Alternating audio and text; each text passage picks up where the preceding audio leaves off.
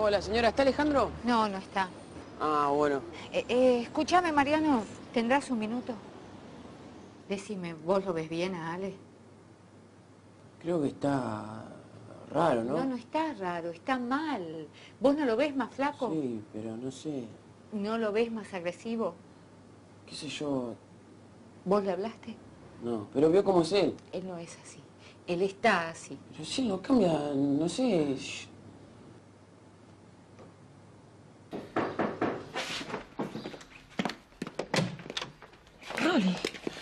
Vi el informe, Mecha. Perdóname, fui yo el que vino a tirar piedras cuando saliste de la cárcel. Pasa que a Luis lo queríamos No, mucho no, acá está en el pueblo. bien. Gracias. Perdón, en serio, no sabíamos nada. No, no fue tu culpa. Gracias, de verdad. Gracias por haber venido.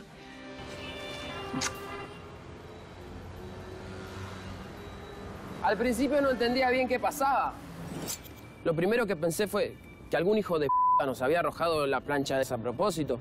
No era la primera vez que, que nos arrojaban algo, pero siempre fueron huevos o algún tomatazo. Cosas inofensivas. vieja?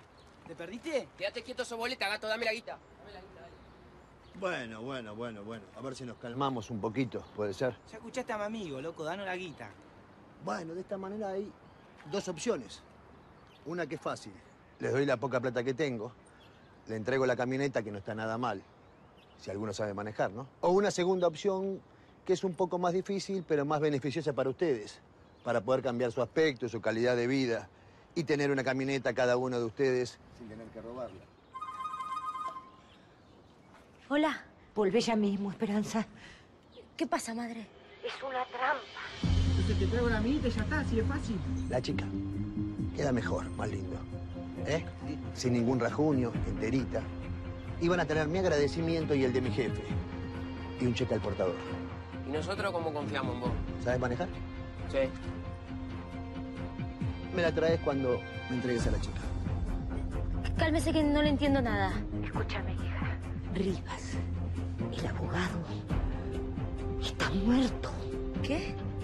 Acabo de averiguar con la policía. No vayas, mi amor. Ya estoy acá. Vamos con la chica. Volvete, Esperanza. Te colo, bigote, vayan por allá, nosotros vamos para allá. Ahora venimos, ¿eh? Te tengo que cortar.